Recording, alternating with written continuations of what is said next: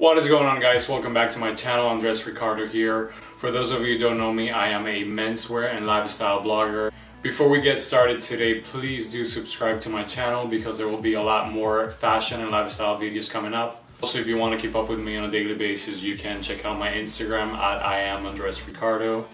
Everything will be linked down below, of course. Without any further ado, let's just open up these bad boys. Today we got the Balenciaga Triple S and also the Yeezy 500s. Uh, just to begin with, let's just do a side-by-side -side comparison.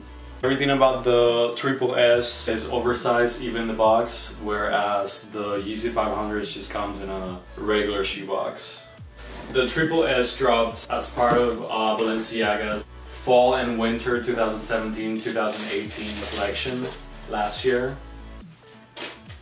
It comes with the receipt, also the Balenciaga dust bag. Right off the bat, the shoe feels really heavy and so there is a really strong glue smell. Other reviews I've seen here on YouTube claim this uh, the smell started with the version 2 of the shoe since it's now being made in China. I cannot confirm or deny this because I've never unboxed or even seen an Italian version in person. Of course the Balenciaga logo across the sole.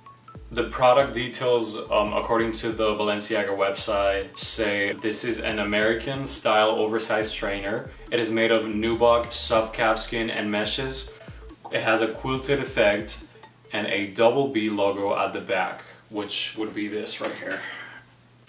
As far as the sizing, most people here on YouTube say you should go have a size down. I personally bought these on a size 10, which is what I normally wear, and they fit perfectly. As most of you probably know, the shoe already comes pre-distressed, which gives it a previously worn kind of look. And also the Balenciaga logo is really minimal this time around. And the the shoelaces are uh, different as well.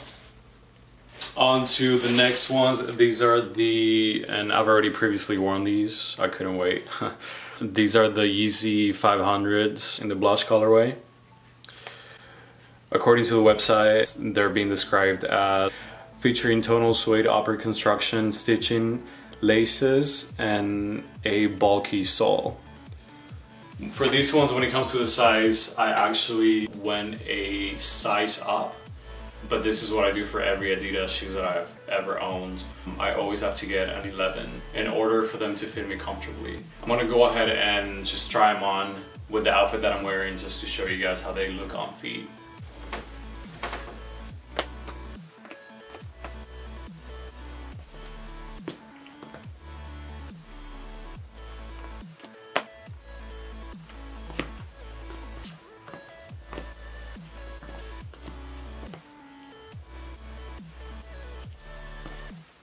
Alright, so what I've seen uh, Kim and Kanye do is, at the end of the day, these are dad shoes. So in order for the the size of the shoe to look normal, the clothes have to compensate.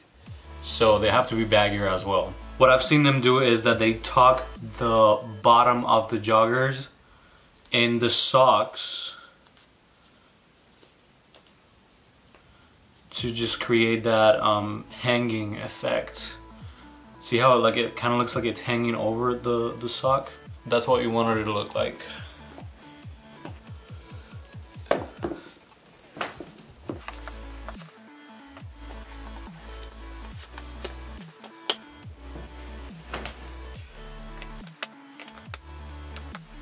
These are really not that comfortable to walk in. The shoe itself is comfortable, but just when it comes to walking, like I feel like since this comes all the way back like kind of like the speed trainers the the back of the sole is like really pointy. And it kind of gets in the way when you're um, landing the foot on the floor. So it just it makes you go like makes you go like this. It's not like a smooth transition. I guess it takes some getting used to they don't really feel that heavy. Like I said before, the Chinese version is supposed to be lighter than the Italian version. So it's not, it's really not that bad. I'm just gonna bring the joggers all the way down. because that's what I've uh, that's what the Balenciaga website the model wears it and then I'm gonna tuck tuck my shirt in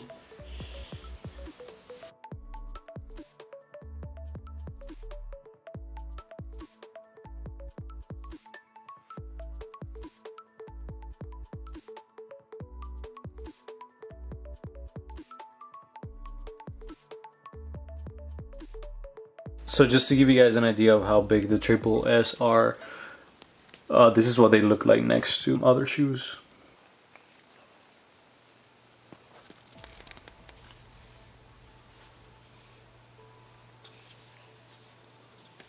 Alright guys, that's it for today. Thank you so much for coming back and watching my channel. If you did like this video, if you think it helped you in any way, please give it a big thumbs up and uh, don't forget to subscribe and hit the bell. Also, if you want to keep up with me on a daily basis, you can follow me on Instagram at I am Andres Ricardo. And until next time, guys.